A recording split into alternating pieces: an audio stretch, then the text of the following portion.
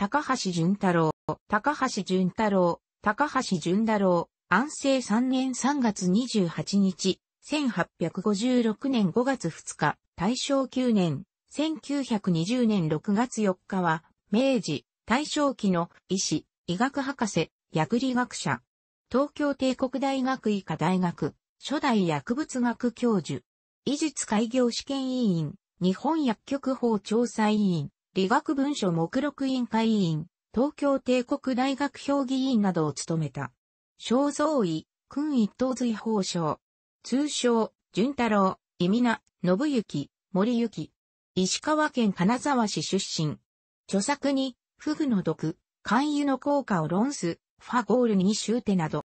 安政3年3月28日、1856年5月2日、加賀藩治業御三用社小頭、高橋昌兵衛、110国、通称、昌兵衛、意味名、左前、石橋鈴、御三用社、石橋良造、長女の着男として、金沢影湯町、金沢市病単町に生まれる。兄弟は、直次郎、花山という弟二人と、よそ、高志、留という三人の妹がいる。父、昌兵衛は、加賀藩士で、慶応2年8月御三用者、五軍艦型三物型の職務を受け、加賀藩梅鉢艦隊の艦船購入のため、長崎のグラバー紹介より春愛丸、企業丸の購入に携わる。同時期、維新の変革に伴い長崎の在崎諸藩士で構成する会議所の配下において政治裁判係を務めた。淳太郎も幼年期より加賀藩の御産養生に雇われるため入塾及び自宅での両親からの教育を受け、数学の優れた才能を有し、特に手山の名手であった。慶応元年、1865年11月8日、加賀藩御産養生に雇われ、慶応元年、1865年、11歳で、藩派遣による特待生に選ばれて、長崎へ留学。留学中に英語及び一般数学を学び、慶応3年、1867年7月6日に、御産用者となる、霧舞40票。明治2年、1869年2月7日、漢学修行のため、加賀藩明林堂の豊島安三郎に入塾。同年3月28日職制改正により二等中止を仰せ渡され、藩籍法官の変革により10月士族を命ぜられる。幕末の動乱期に、父、昌兵衛、淳太郎、弟の直次郎は、職務、留学のため、長崎に在留していた。明治4年、1871年3月26日、加賀藩の後進生として、大学南校に入学しドイツ学を専攻、明治7年、1874年、東京改正学校において、安藤清人、高谷正幸、村岡半一、関清蔵、星虎吉、和田綱四郎らと共にドイツ語学生のために設けられた鉱山学科を専攻、翌年明治8年、1875年、東京改正学校の全学科廃止により9月11日から江口城、三浦森次、菊池常三郎、谷口健、佐藤佑、加古鶴戸、中浜東一郎、小池正直、森林太郎が在籍している第一大学区医学校、東京医学校の本科生となった。明治14年、1881年7月10日、医学部を自責で卒業、医学士の学位を得て、同年7月14日、東京大学準犯人官御用係を任免、医学部委員外科等直位、ユリウス・スクリバ助手に命ぜられる。委員等直位就任後、薬物学に関する研究を始め、第五回文部省国費留学生に選ばれ、ドイツ国薬物学及び裁判医学に属する部分の研究のため、明治15年、1882年2月4日、明治14年の派遣留学生、三浦森次、榊はじめと、フランス客船メンザリー号で、横浜港を出発、3月23日に、ドイツ国ベルリン府に到着、同年4月ベルリン大学に留学し、同大学プスレリー・ブライト教授に学ぶ。ベルリン大学から転学し、明治17年、1884年4月17日、シュトラースブルク大学の実験薬理学の開祖のオスワルト・シュミーデベルク教授、オズワルス・チャミデバーグに従事し、薬物学の研鑽に励む。当時、シュミーデベルクの研究は重要な薬物と毒物をほとんど網羅するほどの多方面に及び、特にジギタリス、ムスカリンの薬理、薬物の体外代謝の研究は重要で優れた業績であった。世界20カ国から120名の留学生が薬理学の開祖シュミーデベルクの下に来て、その指導を受け、あるいは共同研究に加わり、それぞれ帰国の後はいずれも母国に薬理学を移植し、その先駆者、指導者となった。こうして世界的な規模で薬理研究が行われるようになって、急速な進歩をもたらした。我が国からも、高橋淳太郎、森島倉田、林春夫が、その留学生となって、日本の薬物学の基礎を開いていく。明治17年、1884年、淳太郎は、シュトラースブルク大学留学中、シュトラースブルクのドイツ人、ルイゼ・ハインリヒ、ルイーザ・ハインリヒと結婚。3年間の留学を半年間延長した後、明治18年、1885年9月10日、アルザス・シュトラースブルクから帰国の途に着く。明治18年、1885年10月26日、横浜港到着。明治18年、1886年11月19日、東京大学総任官御用係の任免を受け帝国大学医科大学専任講師に就任。薬物学教室を担当し、明治19年、1887年3月6日、直令により、帝国大学令が交付され、旧東京大学から帝国大学となり、従来の総理が総長となって五文化大学を設置、医科大学の黎明期に選出された7人の教授うちの一人に選ばれ、初代東京帝国大学医科大学薬物学の教授となった。明治19年、1887年初代、帝国大学医科大学薬物学の教授就任後、帝国大学薬物学教室の実験機材、備品設備を調達、薬理研究の基盤を構築し、更新の指導教育に力を注ぎ、明治21年4月5日内務省の委託により、日本薬局法調査委員に任命され、明治24年、1891年8月医学博士の学位を授与、翌25年、1892年10月5日、医術開業試験委員に任命、明治34年、1900年4月29日理学文書、目録編纂委員などを務め、同年10月3日、帝国大学評議員に任命された。日本薬理学会の設立に向け中心的な役割も果たした。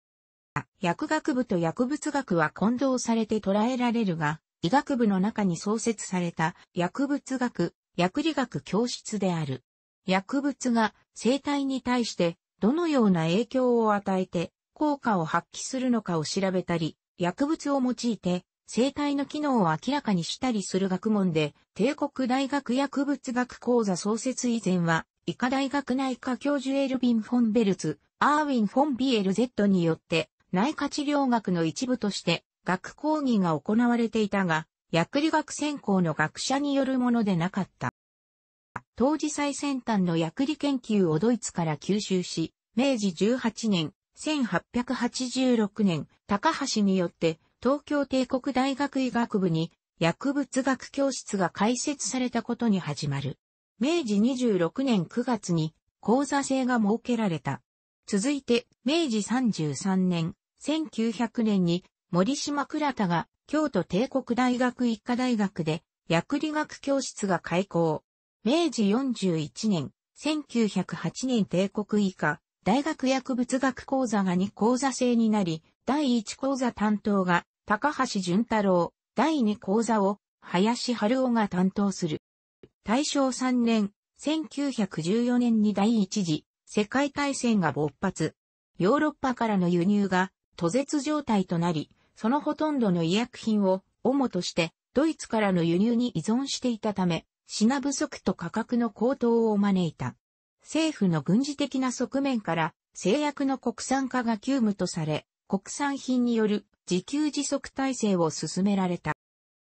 政府は大正4年、1915年に占領医薬品製造奨励法を交付して、製薬工業に対して保護助成政策を取り、内務省衛生試験所の製薬部での試験方法、所要原料、製造規模、習得率などのデータを公表して、民間企業への財政的支援を行い、製薬事業の育成に努め、大正6、1917年、輸入品に代替する新薬の製造、工業所有権戦時法を交付して公選国がところ、する特許権を消失させ、化学製品の国産化を促進、政府の要輸入途絶医薬品の国産化の要請に応え、官民合同の製薬の指導者として合成研究指導を尽くした。大正7年、1918年、第一次世界大戦当時に大流行したスペイン風邪、流行性感冒が世界的に蔓延し、アメリカのスペイン風邪の死者は欧州で戦死するアメリカ軍人の9倍に上った。この時療養中の潤太郎は肺炎薬、レミジンの服用と、最新鎮害剤、アンチシシンを感冒の処方薬として服用を推奨し、処方箋を告知、日本における蔓延防止策を提唱、多くの人命を救った。明治19年、1886年から逝去する。大正9年、1920年までの34年間、薬物学講座第一教室において教鞭に立ち更新の育成と薬物探求の一路の生活を続けたが、大正7年、1918年1月に脳一血で倒れ、麹町の自宅で療養中にも雑誌寄稿するなど活躍したが病状が悪化し、大正9年、1920年3月に休職、同年6月4日午前8時逝去、去年65。死に際して、増床増位、君一等随法書をついた魔物。墓地は、増子ヶ谷霊園。東京大学施設内に、竹石幸三郎作の胸像、浜地清松作の肖像画が保存展示されている。明治初頭、日本の科学研究は治療効果と無関係に行われていた。当時、動植物の成分は単に科学的結晶を抽出分離することに止まり、実際の患者に応用するに努力まで至らず、もし偶然有効成分が単離されたとしても、科学的な実証を伴わない偶然のものであった。生体の中にある科学働け体が摂取されて起こる変化を高級する学問、実験薬理学をドイツから日本に導入したは高橋であった。高橋の研究テーマは、動植物成分の化学薬理的研究で、日本の長い伝統に育まれてきた化学反の飛薬、漢方薬に目を向け、漢薬の成分の化学研究を行う。ウリテ、家庭、タバコネ、ロート、黄金、魔王、小陸、フグ、漢油の成分研究を行い、タバコネからスコポレチン、黄金からスグデラリン、小陸からフトラッコトキシンを単理、成分分析を行いジキタリス製剤及びエフェドリンについて薬理学的研究を行う。これら研究による成分単理の科学的研究分析並びに薬理研究を行い、実際患者に利用することを考え研究を進め、日本における治療的応用の基礎を築いた。異常医科大学起用書斎ドイツ語文動物学雑誌、クスシ学ぶ雑誌書斎和文。以上。東京医学会雑誌書斎話文。業績で特に著名なのが、フグ毒で日本の魚類の中で毒を持つものとして有名なフグについて科学的、薬理学的研究を推し進め、明治20年、1887年から助教授医の志士、小吉人と共にフグ毒の研究を始め、明治22年、1889年フグ毒が生魚の体内にあること、水に溶けやすいことなどから、高橋は、それがタンパク質、酵素様のものでないことを証明し、毒力表を作成した。これは、動物試験をもとにした日本の実験薬理の短所となった。彼は、動植物成分の効果を薬理学的に研究分析して真に有効な物質を得んと努力し、有効成分の科学研究に新しい方向性をドイツから移植した実験薬物学、薬理学の医学者であった。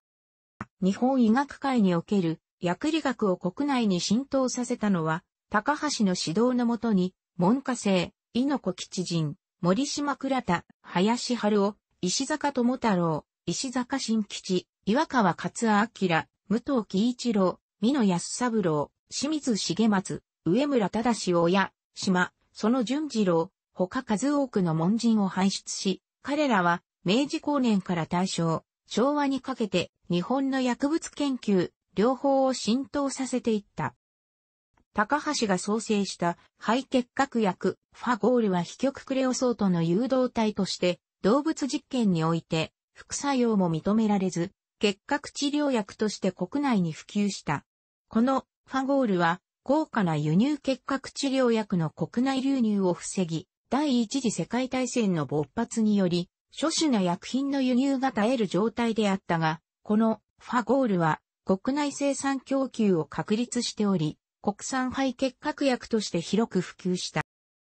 日本では明治17年、1884年に初めて国産肝油コットレバーオイル、メガネ肝油が伊藤仙太郎紹介、現在の若さより発売された。この当時、肝油生成は完全でなく、肝油独特の周期が残る両飲しづらい液体薬品であった。明治32年、1899年、高橋の肝油成分実験の積み重ねにより、吉住で消化性の良い肝油抽出が可能になり、さらに飲料しやすいように糖質を加えた。肝油独特の周期を取り除き、肝油に糖質を加えたのは、高橋市改良肝油が初の試みで、これにより液体肝油シロップの原型が出来上がった。試行錯誤しながら肝油独特の周期を排除し、甘みにより飲みやすくした改良肝油が明治40年、1907年、産教薬品合資会社から発売された。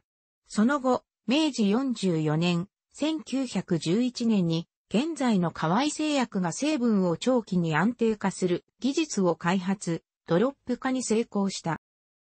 大正3年、1914年に第一次世界大戦が勃発。ヨーロッパからの輸入が途絶状態となり、医薬品が欠乏し、政府は輸入途絶医薬品の国産化を奨励した。戦前にオプト品、ドイツ販売名、エチールヒドロクプレーンの輸入肺炎薬は、戦後に輸入が絶え、高橋が同薬の人工合成を研究し生成。命名したのが肺炎薬、レミジンである。岸くもスペイン風邪の流行で、肺炎薬、レミジンを国内に浸透させ、流行性感冒治療に役立てた功績は大きい。